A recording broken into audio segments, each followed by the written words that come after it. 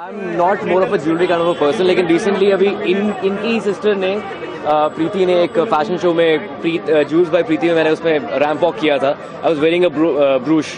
तो I think brooch कभी कभी पहन लेना चाहिए with with your sherwanis and Indian wear men should know about jewellery because that's the only way you need to women's heart and he will wear a stud I will definitely give him.